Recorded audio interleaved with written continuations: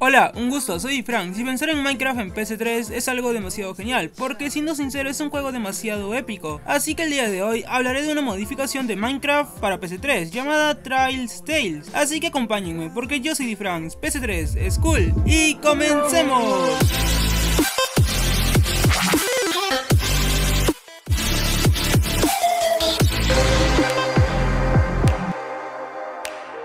A ver, ciertamente he hablado muchas veces de modificaciones para Minecraft para varias consolas, por ejemplo PC2, PSP, también PC Vita, pero claro, nunca he hablado sobre las modificaciones de Minecraft que salen para PC3. Siendo sincero, no salen muchas, es por esa razón que tampoco hablo tanto de PC3 en cuanto a Minecraft. Lo digo bastante en serio, es una realidad que me suele tocar ver, pero de vez en cuando veo que pasan cosas interesantes por PC3 con mods en general sobre otros juegos, y eso sin dudas está bastante bueno. En fin, ahora le tocó el turno a Minecraft, Trials y Tale. Sí, lo sé, quizás no lo conozcan, pero bueno, ha llegado el momento. De primeras tienen que saber que dicha versión nunca llegó a PC3 de manera oficial, porque sí, es cierto que realmente esto existió para Minecraft, pero como una actualización oficial llamada Minecraft Trials Tale para las consolas de PC4 y Xbox One, creo que PC también supongo, pero obviamente nunca estuvo disponible para PC3, y entonces, ¿qué es esto de France? Bueno, muy simple, una modificación hecha por un fan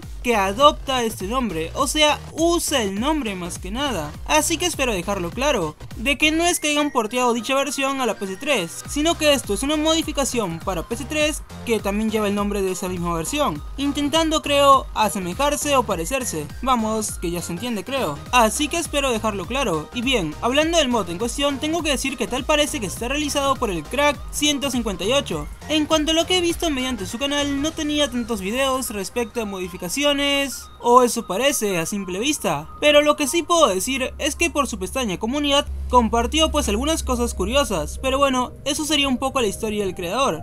Miren, la finalidad del mod, para explicarlo, uno debe ser bastante claro, y es una apuesta al cambio de las texturas, música y que se parezcan al verdadero Minecraft de la 1.20, o esas son las palabras del desarrollador, ya que comenta que esta modificación cambiará la forma en que veas el Minecraft de PC3 y te hará pensar que estás jugando la versión 1.20, y algo curioso es que una vez instalado traerá un PKG, que te va a ayudar a desbloquear todos los DLC de Minecraft para PC3, pero claro, repito, espero que entiendan, esto es una modificación que está más enfocada en la parte visual, en cuanto a poder mejorar gráficos y música agregada de la 1.20. Igualmente, eso sí, algo a destacar en lo gráfico es que se han añadido shaders que mejoran en general la iluminación del juego haciendo que quizás se vea más realista. Así que bueno, eso es toda la info respecto a la realización de este mod. No puedo decirles que es el mejor mod o que es muy bueno, de eso ya se encargan de ustedes, al probarlo. Lo que sí puedo decir es que es algo nuevo e interesante como para hablar de ello. Y eso pues está más que perfecto. Ahora, respecto a las modificaciones, mis felicitaciones para el crack 158, pero también para Bloxy, que se me hacía curioso que saliera su nombre por pantalla. Y averiguando sobre él, sé que en algún momento hizo algo de Minecraft en PC3. No sé si tenga algo que ver con esto, pero de igual manera claro que debía mencionarlo, ya que intento dar de la mejor manera la información. Así que lo mejor de los deseos para el crack 158, también para Bloxy, repito, y vamos con las opiniones finales.